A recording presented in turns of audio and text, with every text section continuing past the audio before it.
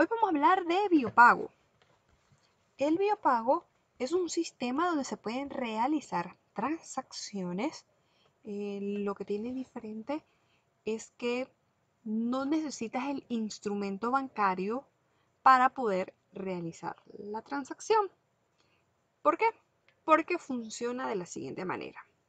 Eh, la persona indica su número de cédula y luego debe de colocar su huella dactilar en el dispositivo. Este dispositivo funciona con capta huellas, por eso no necesitas la tarjeta. Lo que sí necesitas saber es el tipo de cuenta de la tarjeta. En el caso de que sea tarjeta de débito, debes de indicar si es cuenta corriente o cuenta de ahorro.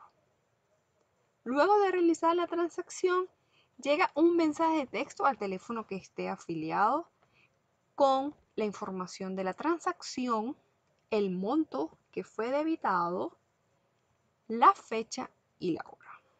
Eso es todo con la información de el biopago.